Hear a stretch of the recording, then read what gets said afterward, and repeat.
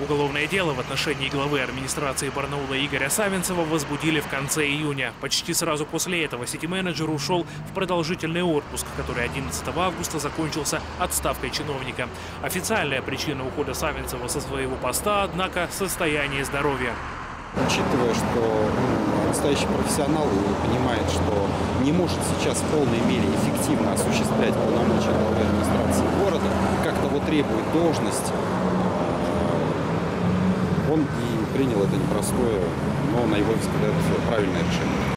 Конкурс на замещение должности главы администрации барнаульские депутаты объявили только в конце октября. Имя кандидата от единороссов, составляющих думское большинство, стало известно в последний день подачи документов. Главным претендентом на пост стал начальник главтрудсоцзащиты Сергей Дугин. Человек, который каждый день общается, знает, что такое социалка. Вот никто так проникновенно, как Сергей Иванович, не понимает чаяний вот, жителей Алтайского края.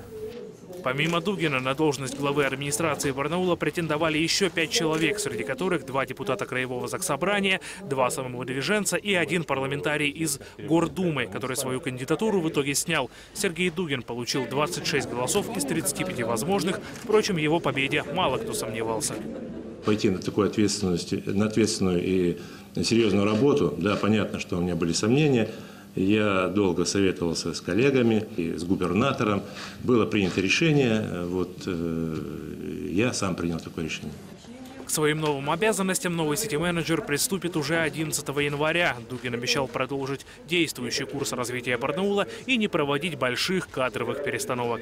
Василий Морозов, информационный канал «Город».